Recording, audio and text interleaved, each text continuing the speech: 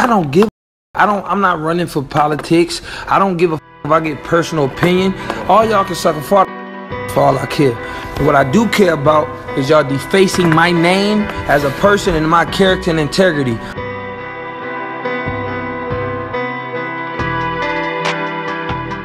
Welcome to the Dark Times channel. And so most recently, R&B singer Chloe Bailey took to her Instagram to post uh, an up-and-coming project that she's working on with Chris Brown. So her and Chris Brown are doing some music together.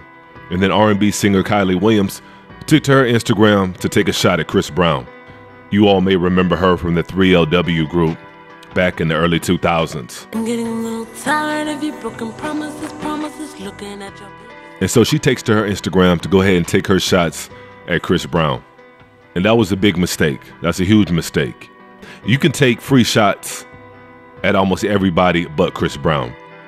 Chris Brown comes pretty close to Michael Jackson as far as being falsely accused of things and being accused of things that he didn't do, or at the very least, being accused of things that can't even be confirmed or validated with any proof.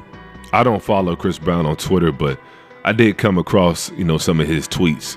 If you just take a look at some of Chris Brown's past tweets, you can tell this is somebody who really doesn't give a damn about the powers that be. This is somebody who's just going out there doing his thing, eating off his talent and not really concerned about the industry for the most part. You know, there's definitely been times where he's had to take down some tweets and apologize for this and that, but for the most part, this is a dude that really doesn't give a damn.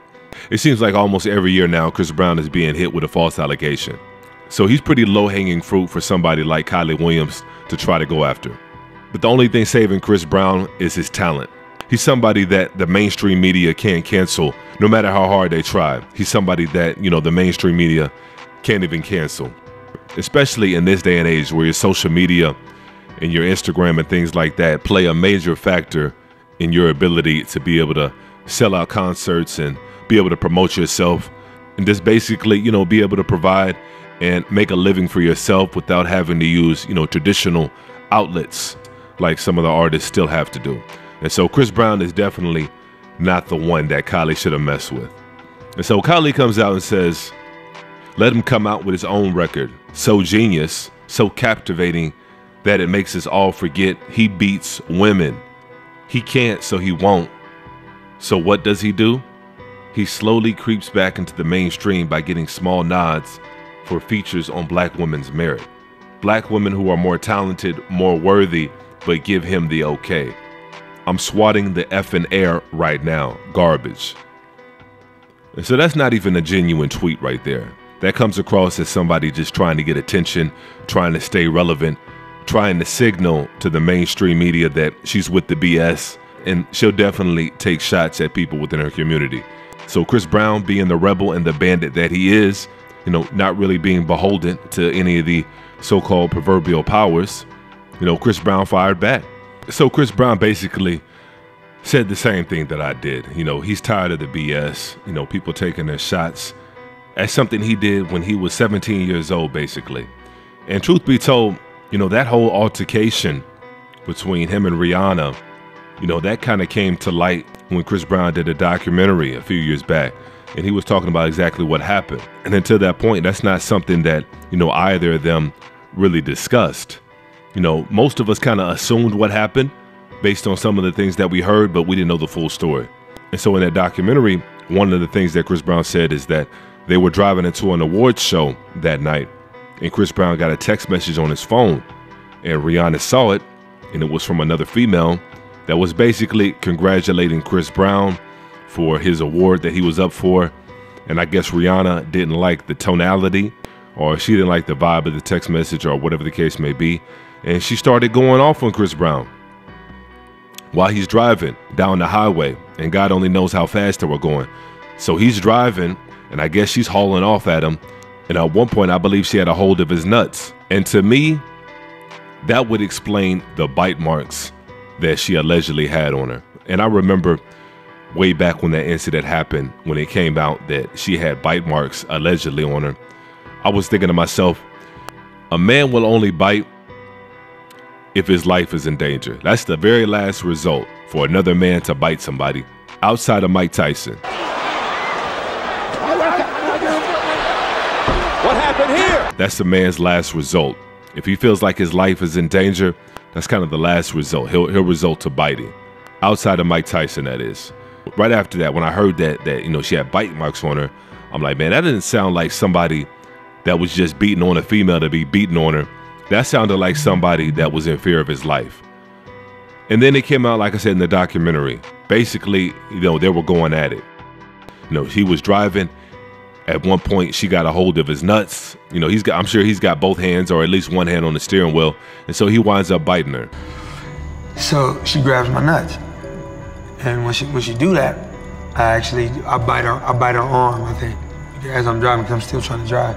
You know, and then after that, they pulled over, and you know, whatever happened happened. You know, but at 17 years old, if you're being attacked by anybody, I don't care who it is, female, male, if you're being attacked by anybody, I would say it's very difficult, unless you're a trained, skilled fighter at 17 years old, to be able to defend yourself without hurting the other person. And so, like I said, Chris Brown pretty much said the same thing.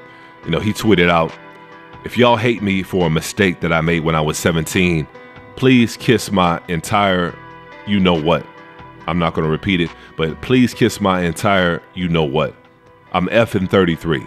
I'm so tired of y'all running with this narrative. Y'all are the same ones that tune in each week to see Blueface and Chrisean beat the F out of each other in front of the world. But that's okay. It's entertainment. All y'all can you know what. Disrespectfully. And then he ended with a picture of Kiely from the group of 3LW that says that says stop it. and if y'all remember the song, y'all know exactly what Chris was referring to. You know, and then Chris Brown wasn't done. Chris Brown really went off. Like I said, Chris Brown is not the one to play with. When you're somebody that knows how to get it from the mud and you're talented and you don't have to rely on anybody to be able to generate income for you, that's somebody you definitely don't want to mess with. That's somebody you don't want to start nothing with. Cause he's not like the um cause he's not like the typical he's not like the typical entertainers out here that you know, he's not like the typical entertainers out here that if the industry stopped pumping their music and stopped promoting them, you know, they would go broke overnight. They wouldn't know how to get it. So he kind of sets himself apart as far as that goes. And so he continued by saying, you know, where's the cancel culture for these white artists that date underage women, beat the F out of their wives, giving these Bs the ABCs? They are your buddies. He said, no more fake love for me. Stay out of my way or get ran over. Simple as that. So, like I said, it's on. Chris Brown's really not having it anymore. It's almost going on 20 years now, you know, and he's gotten hell over it this whole time. So he's definitely tired of the BS, and it doesn't seem like he's going to be putting up with it anymore. And then he ended up posting stories about Sean Penn, Mel Gibson, Nicolas Cage, Ozzy Osbourne, Tommy Lee, Charlie Sheen, Steven Seagal, Emma Roberts, Carmen Electra, Christian Slater, Josh Brolin, Tommy Sizemore, James Cain, Vince Neil, and Mickey Rourke. You know, and all these people had the same thing in common. They're all so-called white actors slash entertainers and have had their disgraceful stories somewhat swept under the rug. You know, there may have been a blimp about it on a tabloid back in the day, but that was all it was. It was just an article, or not even that, just a headline. And then they went back to singing and acting and being able to star in major films.